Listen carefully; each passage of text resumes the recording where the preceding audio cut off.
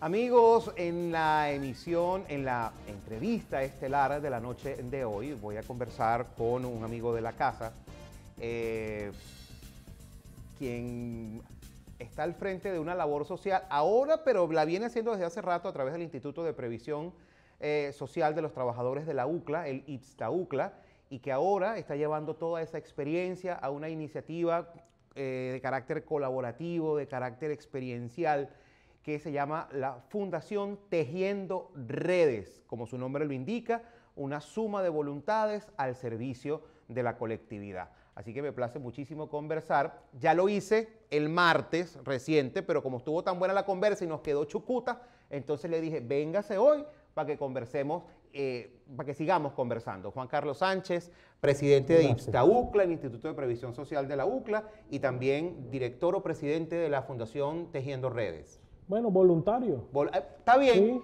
Está bien, ahí todo el mundo forma parte de un equipo. no, y todo el mundo manda en su área, en su conocimiento, todos, todos somos voluntarios. En papel, en documento, pues... Es una cosa. Hay unas cositas ahí, pero al fin y al cabo el trabajo. Pero mira, ahí no pasa lo de que mucho, mucho cacique, poco indio. Entre todos. Ah. Así que entre cacique y. ajá. ok, nadie. O sea, todo, todo, todo, es una estructura horizontal, como quien dice. Sí, sí, no, en verdad todos tienen, todos tenemos allí un trabajo muy bonito.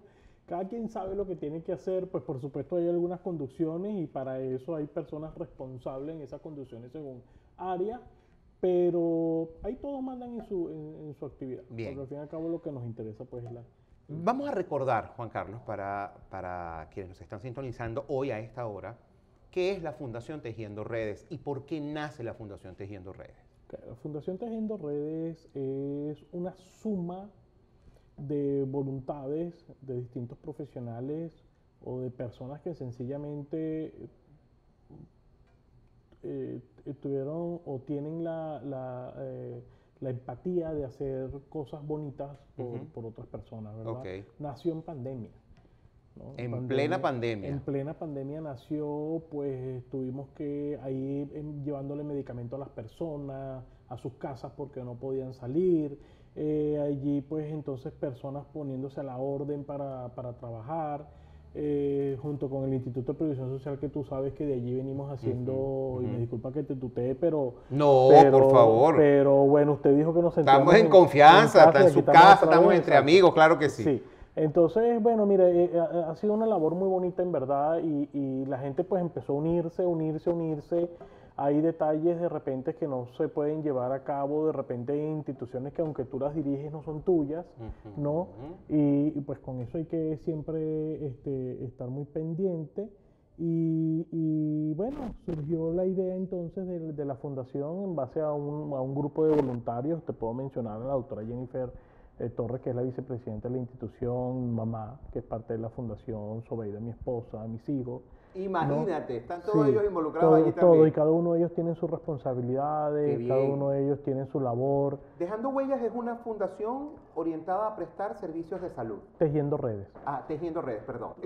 La, Fundación Tejiendo redes, su objetivo principal son los abordajes médicos sociales en comunidades de mayor vulnerabilidad. Es decir, llevar un poquito de salud, una consulta médica, una consulta con un pediatra, una consulta con un internista o un médico general a una comunidad donde no hay acceso eh, real y constante a los servicios de salud.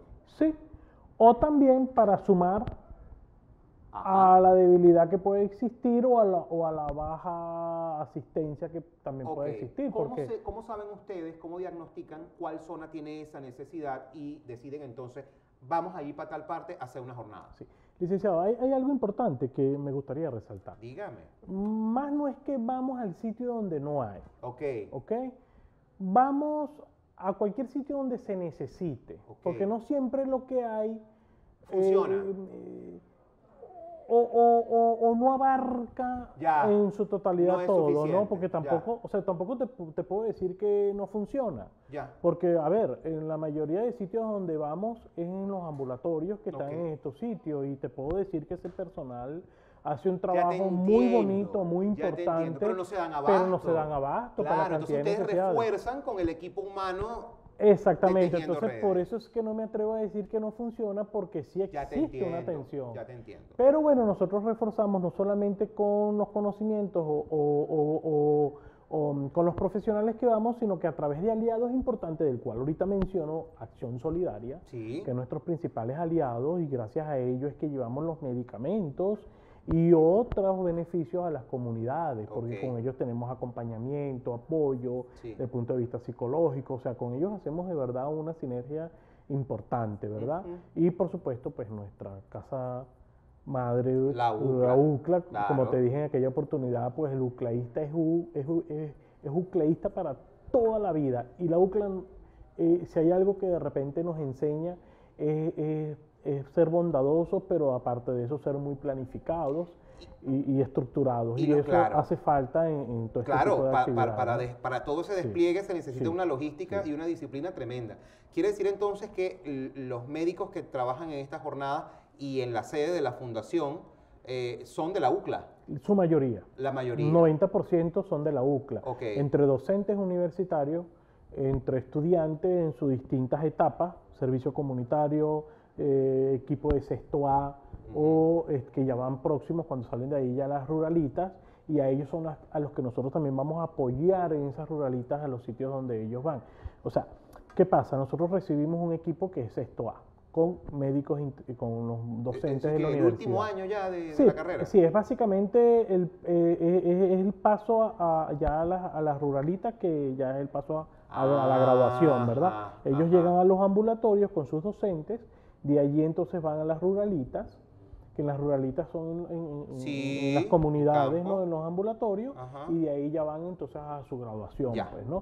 ya. Entonces, ¿qué pasa? Los recibimos en sexto A, con ellos hace un trabajo en las comunidades y, y- y un servicio de atención gratuita, pero además a ellos los vamos involucrando en estas actividades sociales también para lo que es la sensibilización humana, Sí. eh, eh, o sea, para, para que ellos vean lo bonito que es trabajar también por otros, ¿no? Y las necesidades que hay reales en las comunidades, pero cuando ellos van a las ruralitas son con ellos también con los que coordinamos junto con las comunidades las actividades ¿Viste? este, que hace. O sea, eh, eh, es, es- es como toda que una una alianza, es una red, sí, es una una red red. donde hay muchas personas involucradas. Que si me pongo ahorita a mencionarte otros aliados, no, pues No imagínate. se te acaba el programa. ¿no? Y si me vuelves a decir que es mi casa, entonces, ajá. Te lo entonces aquí agarramos otro, otro programa y así.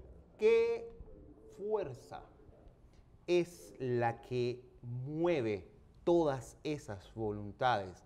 ¿Qué fuerza es la que hace posible lo que acabas de explicar? Hermano, es nuestro país. Y todos vivimos aquí, de una u otra manera tenemos que buscar cómo aportar, cómo sumar para salir adelante. Y, y creemos que cada quien puede aportar desde su trinchera, o sea, desde su conocimiento, desde, desde donde son buenos, Sí. donde son mejores, pueden aportar. Y esta es nuestra forma de, de- de aportar a nuestro país, un país hermoso, bello, que tiene todas las oportunidades del mundo, que a veces lo que hace falta es dejar a un lado cualquier situación personalista y unirnos, porque se ha demostrado, para entonces entre todos salir adelante. ¿Tú crees que el trabajo que ustedes hacen, de la manera como lo hacen, con disciplina, con dedicación, con abnegación, es un ejemplo de lo que se llama construir país? Mira- es la otra cara de, la- de esa Venezuela que lamentablemente hoy algunos rechazan, mientras que otros, como lo acabas de decir tú, es nuestro país, hay que echarle pichón, hay que levantarlo.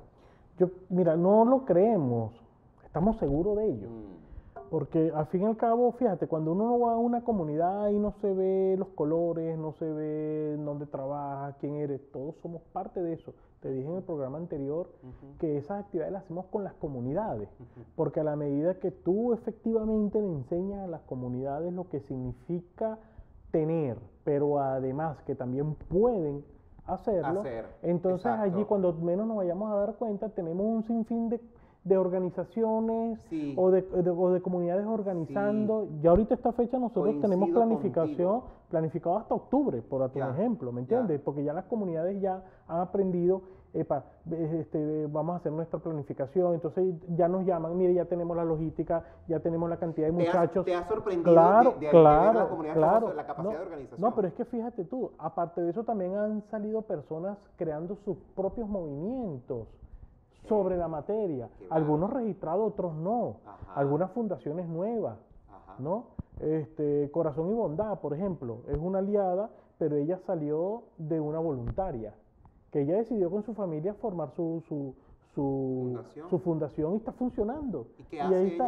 ella? Ella lleva comida a los ancianatos, nosotros a través de Acción Solidaria le damos medicamentos y nos ayuda a, a expandirnos, pero así como ella hay otras organizaciones y hay otras personas de boca a boca que también ayudan a eso, ¿no? Qué bien. Entonces, eh, eh, eh, es eso, es como que enseñar a las personas que sí tenemos dificultades, tenemos problemas desde el punto de vista económico, desde el punto de vista social, etcétera, pero, pero si nos unimos y desde lo poquito aportamos cada quien, y hacemos cosas grandes. Hemos tenido atenciones de 300 personas a 1000, 2000 personas. A veces de manera Entonces- inexplicable, bueno, inexplicable desde el punto de vista de lo científico, pero desde otro punto de vista tiene, tiene explicación.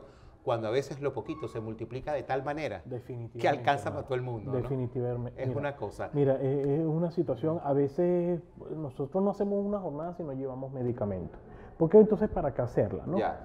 Pero este, nos ha sorprendido que a veces nos llevamos una maleta y eso termina alcanzando para todo. ¿Viste? ¿Me entiendes? Entonces, ¿Viste? entonces, o a veces no tenemos, pero de repente viene Promar Ajá. y mira, conseguimos esta cajita a través de- del doctor José Luis Yepe, que definitivamente... José Luis que- también otro que- aliado de- que de- es uno de- nuestros sí, aliados, así como lo son ustedes, tú Sí. que, que en otras oportunidades has trabajado con nosotros también y sabes lo, de lo que estoy hablando. Y entonces, mira, aquí tengo esta cajita o aquí tengo esta bolsita que lo dejó un paciente. Entonces, todo eso va sumando. Ahorita ya empezamos a sumar medicamentos para la jornada de este mes, que va a ser en conjunto con UCLA. Mira, me acabas de poner la pregunta en bandeja de plata y con esto despido la, la- la entrevista. Esta, porque eh, muchas más No, vendrán. ya dijiste que es mi casa, entonces, bueno, ya, ya. Mira, Juan, a ti te ha tocado enfrentar una, un- un- una de las etapas más difíciles de la universidad venezolana. Porque precisamente los institutos de previsión de las universidades han, han sufrido en carne propia lo que ha sido el tema del déficit presupuestario. Sí. un servicio en el que se apoya una enorme comunidad a, hacerse, a, a- a chequearse, eh, medicamento y todo lo demás, pues ha sufrido las limitaciones. Y eso yo no dudo, Juan Carlos, que haya causado, pues, oye, ¿qué hago? ¿Cómo hacemos? ¿Cómo echamos para adelante? Todo lo demás. ¿Tú crees, tú crees, y la pregunta la hago en función de lo que tú mismo estás explicando, ¿tú crees que estas actividades, este servicio,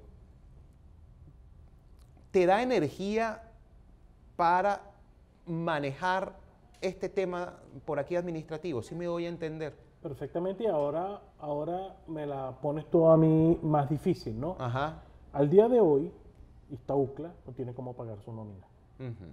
O sea, si hay una realidad palpable eh, de dificultad presupuestaria, ¿no? No tenemos incremento salarial, que es donde sale el porcentaje de aporte, en nuestro caso para el instituto. Entonces los trabajadores terminan aportando lo que tienen ahora en su sueldo, que son 5 o 6 bolívares. Ujú.